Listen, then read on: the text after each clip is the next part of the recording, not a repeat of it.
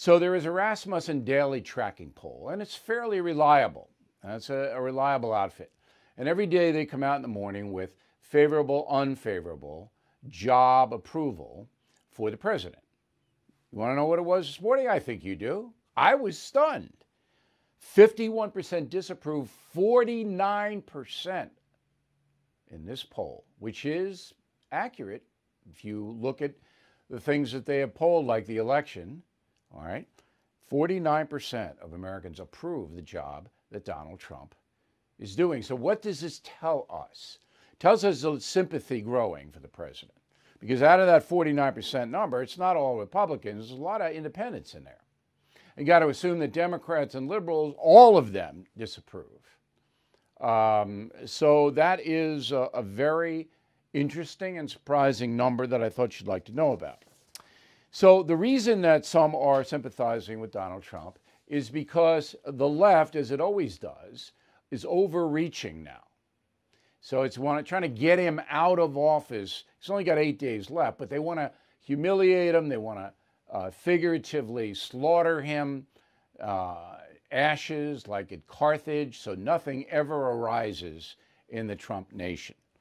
And they're doing it two ways. There is a congressman named Jamie Raskin in Maryland, far left nut, really extreme. So he has now uh, put forth a uh, measure, a measure, not a law, but he's going to get a vote in the House because of Nancy Pelosi.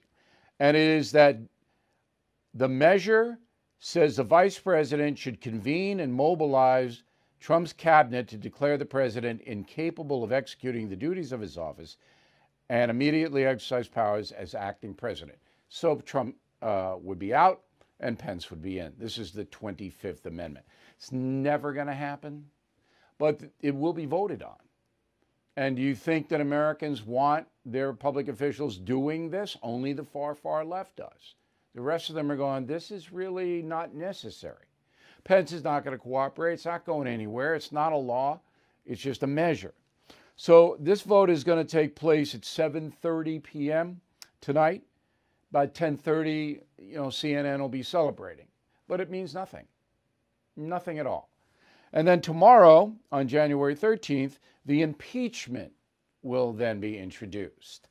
So, what happens there is there are 435 members of Congress, 222 Democrats, 211 Republicans.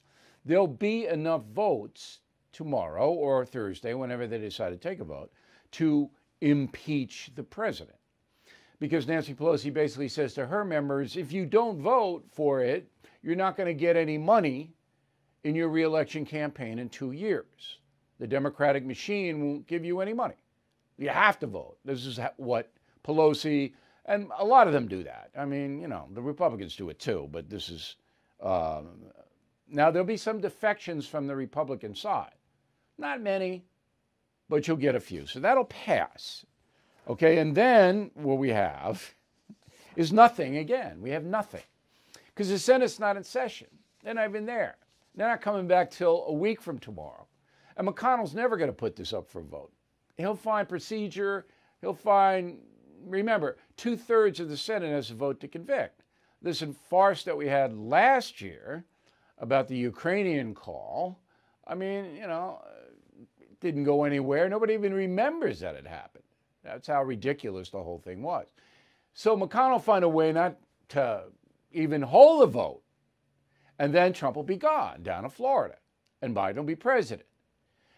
But Pelosi may still push for a vote in the Senate, but McConnell won't do it. So then it'll be in the courts. Can you impeach president who's already left office? Can you do that? And it'll wind its way to the Supreme Court, and the Supreme Court will finally say, no, we can't. Well, Joe Biden is going to be president, and we may be in for some economic uncertainty. That's why now more than ever, I recommend you diversify with gold and silver.